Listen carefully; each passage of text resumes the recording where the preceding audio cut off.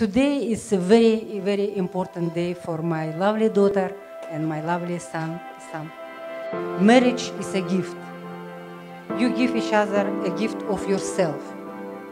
That connect you in spirit, body, mind, and soul. It's funny, but yes, I go to my mom and see what she thinks. And it's funny because mothers know better. And when she first met Alzira, she was like, that's the girl that you're gonna be with for life.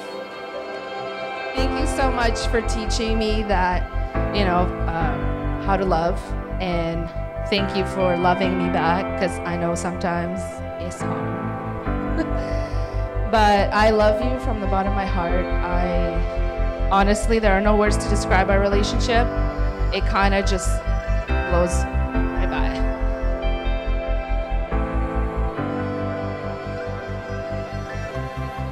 a very special and marvelous occasion, the wedding of Wissam and Alzira.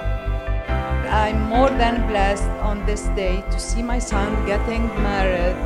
Wissam, my son, I love you so much. On your wedding day, I'm overcome with so many happy emotions love, gratitude, pride, and joy.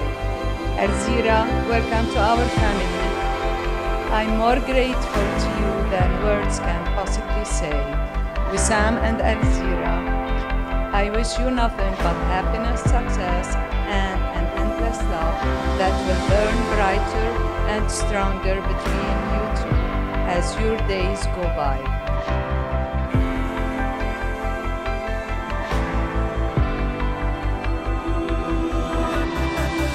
I love you so much.